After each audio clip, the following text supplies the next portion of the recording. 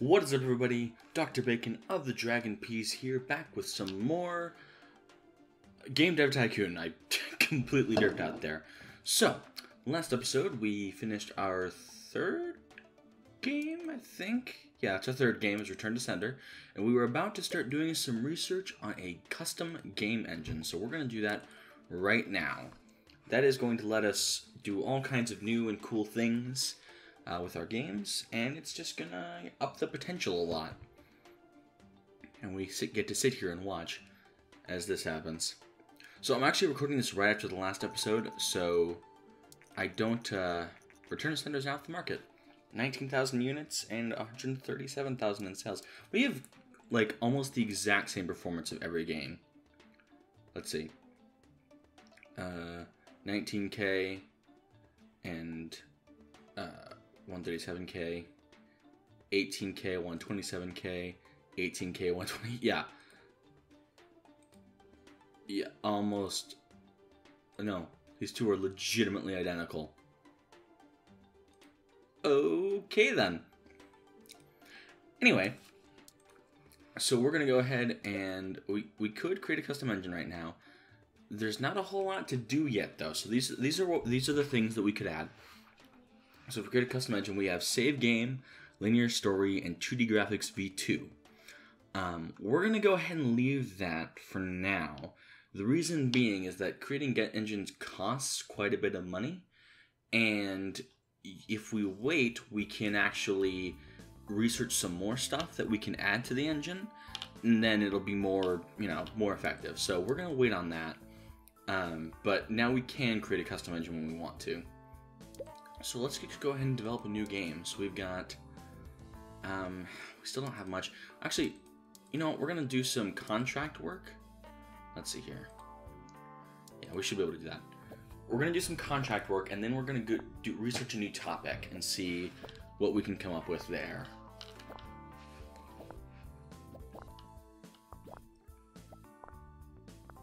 There we go. Some 20k, and then now we can research a new topic. Um, disasters? We'll try law. Law could be interesting. A lot of these are like simulation subjects where there isn't really anything to do with simulation with them, and that's that's what's bugging me. I want to make something of a different genre. Okay. Let's try law and strategy, maybe? It's kind of pushing it, but we'll try it. We'll try it. We'll see what happens. Um, law and strategy. See, I'm, I'm all out of Phoenix Wright jokes, is, is the problem. Um, the gavel falls, sure. I'm just gonna just keep picking really, really cheesy games. Oh, so, now we have a new platform option. We have the NES, the TES, but it's the NES. So it's um, actually doing very well, market share wise. Now, the cost is a concern. So we have the dev cost, it's 10k more than for the Govodore. There's also a license cost. Now, it's only a one time purchase, so once we buy the license, we can make whatever we want, but it will cost $110,000 just to start developing a game for this but I think it's worth it, so we're gonna give it a try. Yeah, $80,000 to acquire a license. Alright, so that was that, and then, yeah, so this is gonna be expensive. Now, I could do text-based for this. I think I'm still gonna stick with 2D graphics. I, th I think, yeah. Alright, so story and quest is going to be a lot higher here.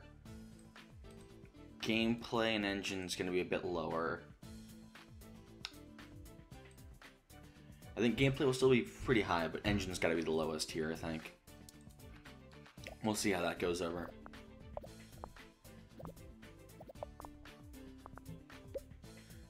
Alright, um, AI's got to be pretty high.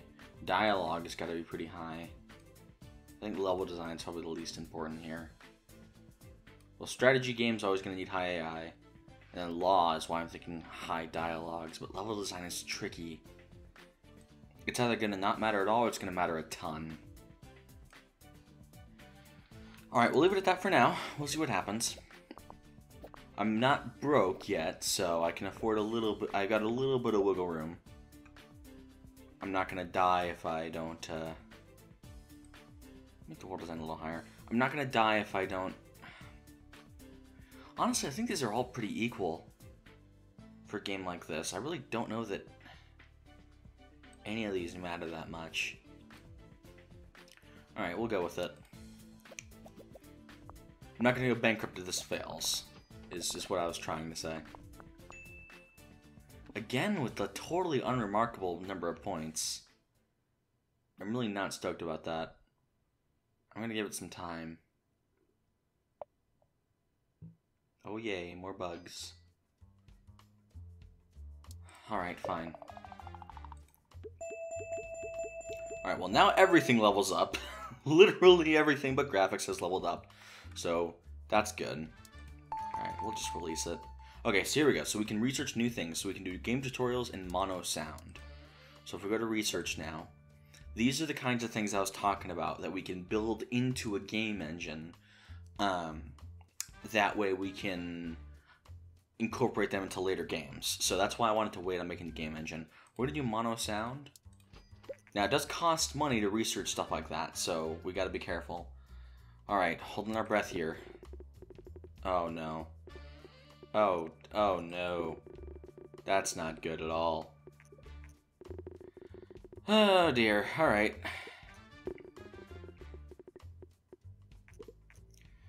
Okay, 4.75 or something like that. That's bearable. As long as we as long as we recoup what we lost, which we're not going to when you factor in the license cost. Recent released bleh, the recently released TES home console by Nintendo has proved to be a massive success. Sales numbers have exceeded expectations by far. One customer says, I love the games that come with the TES, and playing with a controller is so much more fun than on a keyboard. That's fair. I disagree, but that's fair. Alright, we have mono sound now. We're not losing fans, which is good. That is that is a thing that will happen when you uh, when you release a bad game. You can start losing fans, which is a problem. Okay. Oh, I don't know if I can pull that one off. We'll try. Ooh, three weeks. Uh, we'll try the debug. I mainly just want research points right now but I'd like to not lose money. If I scratch my head at all, I'm toast. Okay. Alright, uh... Oh, right, generate a game report. Let's see what we did wrong. Probably everything. So I will warn you, the game just kind of stays like this. Like, it's it's a pretty stagnant game Launch strategy is a good combination. Engine seems to be quite important. Oh, yeah, TES and strategy is not a good combination. That makes sense. I just I wanted to I wanted to buy something. I wanted to make something for the TES, but I should not have done a strategy game for it. What I should really do is do a music game for it. Actually, that'd probably be a good idea. Um, the game the game is kind of it kind of recycles for a while until you get a hit. Once you get a big hit game, that's what really changes things and suddenly you start you know getting new new opportunities and options. But until we actually make something really successful we are going to be kind of stagnant here. Maybe i should do a sports game for the tests we'll try it.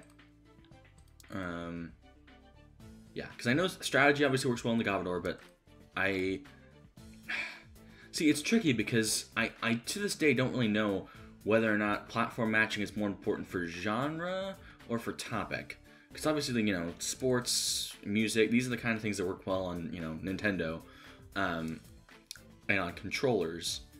But we're going to give it a shot. Now, one of the tempting things is is to like you know release things as sequels when you do the same style of game. Um, but sequels is actually a thing that you get the ability to do later. So I could call this Bacon Sports 2 if I wanted to, um, but I can actually like properly make a actual, you know, sequel that the industry will recognize as a sequel later on. So we're gonna wait on that. Um, we will do uh, something water sports. Yeah, let's just, we'll just call it water sports. Maybe just like bacon water sports or something. Sure, why not? 2D graphics, because a text-based sports game would be very stupid. Alright, so we know engine is important for... Is that for simulation or for sports? I'm not really sure. We know engine's important. Story and quests, not very. Um, gameplay has also got to be pretty important, so I think we'll leave those balanced. Maybe a little more on the engine. Let's see what we can do now. Yeah, we're pretty much... Gavel Falls is now off the market. We're pretty much staying in that, you know, like one, you know, 100k range so far. Dialogue is definitely not important. AI and level design, pretty important. We're pretty much sticking right around there. We're about to go into year three, and nothing's really changed. Alright, world design, very unimportant. Graphics and sound. Okay. Recent studies suggest the increasing variety of gaming devices also creates a market for more specialized games. Some platforms become popular with younger gamers, while others cater for the more mature age groups. As more and more developers enter the market, we expect developers to focus their games on specific age groups to really make an impact. New research available, target audience. So that's something that becomes really important, is targeting your game to specific audiences. Um, yep, I know. I will create a custom engine like right after this, basically. Um. Okay, here we go. Finally, I think leveling up everything was important. I think this will help. We finally got some more points. Following the massive success of the TES console, there are now rumors circulating that Veg Vena, you know, take that as you will, another Japanese company is planning to release a home gaming console on their own. There we go. Okay. This is good. This is this is much better. New combo. Didn't we do sports simulation before? Did we not? Did we not? Does new combo also factor in the platform? I have no idea. All right, let's just release it and hope for the best. In the meantime, we're gonna go ahead and research game tutorials. Target audience, I don't think you need uh, to incorporate with the engine. I think that's just part of it. First reviews for Bacon Water Sports came in. Oh, here we go. Oh, maybe not. it's better. It's definitely better. We got a 9. Come on. 110. 110, please. Please, 110. No. 7988. Definitely a lot better. Definitely a lot better. We're not stagnating anymore. It wasn't amazing, but we got 15k sales in the first week. So that's a good start. Let's make a game, game report, see what we did wrong. We've we broke 250k, which I think we had, we had before, um, but we're getting up there. We're making progress. We're making progress. It was just those first like three games were just the same. Here we go. Today, Vena has com confirmed recent rumors about a new gaming console and announced the Master V. The, comp- the company claims that the Master V is technically superior to the massively successful TES by Ninvento and plans to release it in the coming months. Our post release analysis of Bacon Water Sports is complete and we got the results. Engine is quite important. We already knew that. Thank you. Alright, let's research target audience and then we will make a game engine.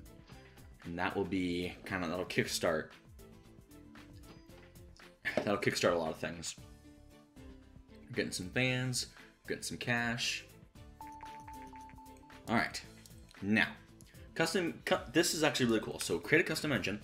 We can do we can do a lot of things. So we can do 2D graphics version two, uh, linear story, save game, game tutorials, and mono sound. So these are all just good things. So there's there's some strategy here about deciding because later on there'll be a lot of options here and deciding like to specialize engines for specific releases and stuff. I always just go with everything because yeah, it's expensive to make, but the end result is a much more robust engine, and you're not making a new engine every three games.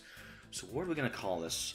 Um, so I'm actually gonna draw upon uh, an old an old uh, old uh, name I used to use for stuff. In fact, this is actually the name of my computer build. I my favorite animal in the world is the Arctic fox, and I just think that's just a super cool name for like anything. So we're gonna call this the Arctic Fox Engine One. We will use. Hold on, how far can I get with Roman numerals? Okay. We will use we will use Arabic numerals just in case. I, I I'll probably get more creative with these as I go, but for now. So now we basically just make more tech points as we figure out how to do that. That is off the market 45k and 320k in sales. That is much better. This is much better than what we were doing. So we just bubble up technology points until we're done. Gives you some free research points. Not a big deal. It obviously takes some time, so you can you can lose some money if you're not careful doing this. But you get to you get a lot more options afterwards, and your games can be a lot better.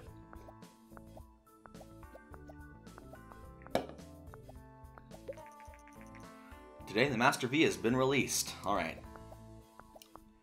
And that will be decent for a while. It, it won't last very long, though. Arctic Fox Engine 1 is now complete. Alright, and we're back to where we were before, basically. Um, I don't think we need to do any contract work. Do we have... Okay, so here, so now we have the option of of uh, target audience. So what I'm thinking about doing is doing another alien action game. Or actually, no, what I want to do is I want to do, I want to find some contract work. I want to get some more research points. Oh goodness, no. Um, I want to get some more research points, and I want to make a sci-fi action game for mature audiences. And I think we're gonna do the Govodore. We might try the Master V, but the Master V, I don't think. Yeah, start up the market worldwide.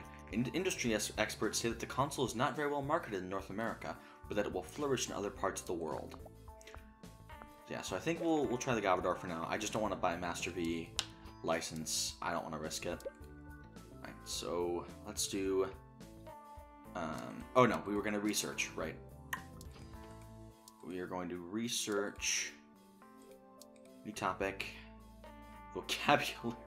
So this is what I'm talking about. Like, okay, I guess if you target it for young, sure.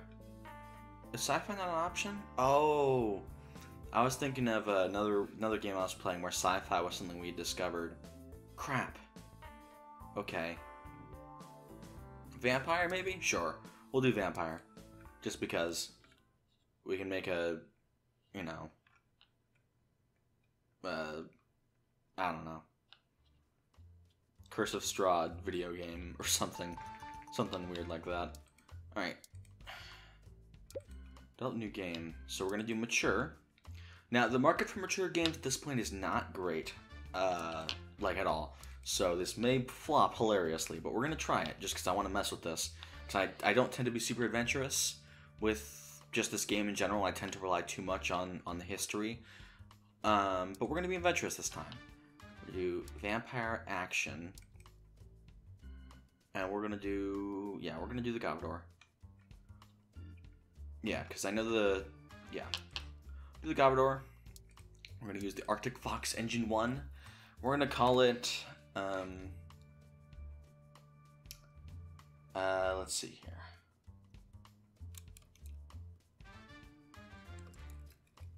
The Nightman. Sure. I have no idea. I'm just being edgy. Alright, 2D Graphics V2 does make it more expensive, so if this fails, we might be in trouble. But let's hope for the best. no design points, no technology points, just two bugs, just just because. Alright, so here's what I was talking about with more options. So now we have choices here. If we integrate them, our game becomes better, but it costs more. Um, so we're gonna want a bit more story and quests. The engine is gonna be pretty important here, and we're gonna go ahead and do it all. We're gonna we're gonna take a risk. We're gonna do it all, and we're gonna hope for the best. So save game, game tutorials, and linear story.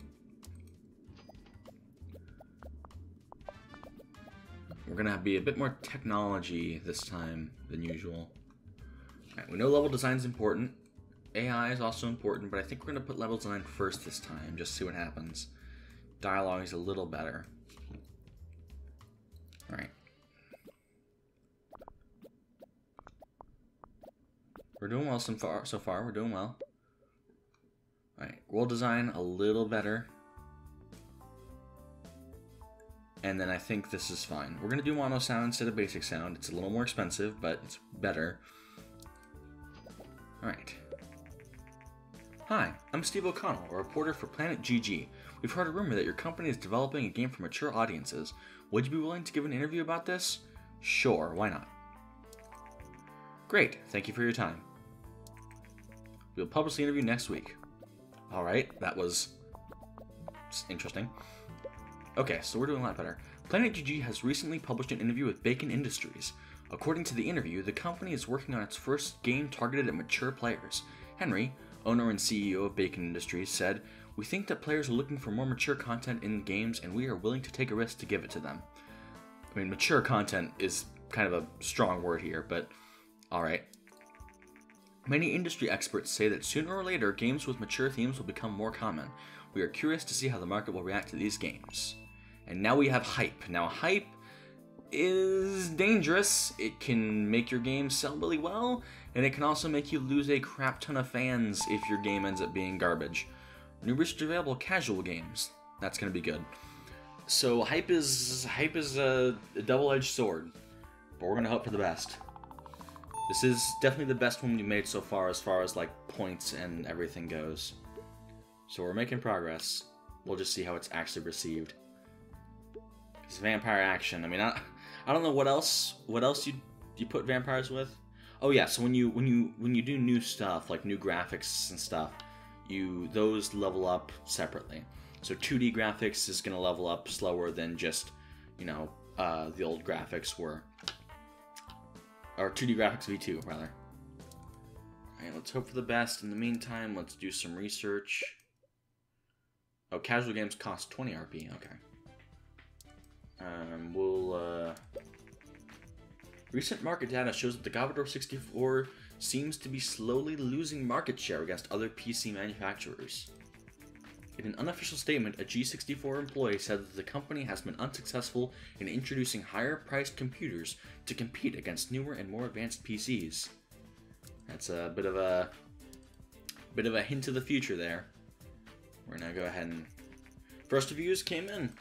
And oh oh this is looking good. Vampire and Action's a great combination. Nine, a nine. Can we get a ten? Can we get a ten? Can we get a ten? Another nine. Come on, come on, give me a 10. 9999. Ah, still really good. That is still really good. This might be good enough to catapult us into the the more the cooler parts of the game. Let's see. Uh, it's still only selling okay, oddly enough. Um, Vampire and Action is a great combination. Gameplay seems to be quite important. Platform audience match is great. And topic audience match is great. Awesome. Okay. Everything went well there. Yeah, it's selling okay. It's not selling as well as I would have expected with, with reviews like that, unfortunately. Um, but that's alright, I guess. So we're going to go ahead and research casual games. And then I think we're going to go ahead and end this episode here. Um, and I apologize if you guys have... Oh, hold on. According to our market research, the recently published game The Nightman is a surprise hit with players. The developer Bacon Industries is fairly new to the gaming industry, but we cannot wait for what they will develop next. We've actually made like seven games, but that's fine. Um, I'm gonna pause it. So, yeah, I apologize if you guys have left any comments or suggestions that I haven't gotten back to. I'm I'm kind of recording quite a few at once, so it may be some time before any suggestions or anything like that actually gets incorporated. But I really hope you guys are enjoying this series because I, like I said, I love this game. It's a lot of fun. Go check it out. And yeah, I think that's about it. Hope you guys all enjoyed, and I will see you all later.